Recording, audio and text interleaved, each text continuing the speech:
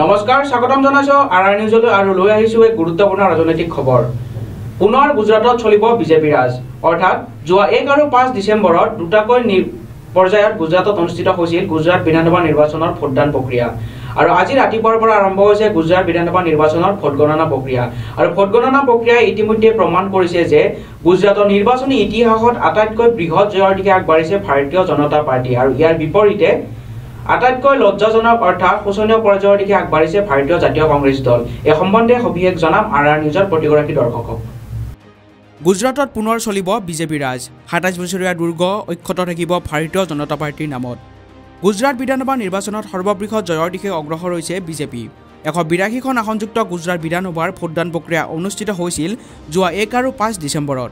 প্ৰধান বিৰোধী দল কংগ্ৰেছৰ সেৰেঙা নিৰ্বাচনী প্ৰচাৰৰ পৰিৱৰ্তে নতুনকৈ আত্মপ্ৰকাশ কৰা আম আদমী পাৰ্টীয়ে গুজৰাটত চলাইছিল জোৰদাৰ নিৰ্বাচনী প্ৰচাৰ। এক প্ৰকাৰ ক'বলৈ গ'লে আম আদমী পাৰ্টী মূৰৰ কামৰণি হৈ পৰিছিল প্ৰধানমন্ত্ৰী নৰেন্দ্ৰ মোদী গৃহমন্ত্ৰী অমিত শ্বাহ তথা ৰাষ্ট্ৰীয় সভাপতি জে পি নাড্ডাৰ বাবেও। এতিয়ালৈকে প্ৰকাশ পোৱা নিৰ্বাচনী ফলাফল অনুসৰি ভাৰতীয় জনতা পাৰ্টীয়ে এশ ছাপন্নখন আসনত বৃহৎ অগ্ৰগতি লাভ কৰাৰ বিপৰীতে কংগ্ৰেছে আগবাঢ়িছে মাথো সোতৰখন আসনত।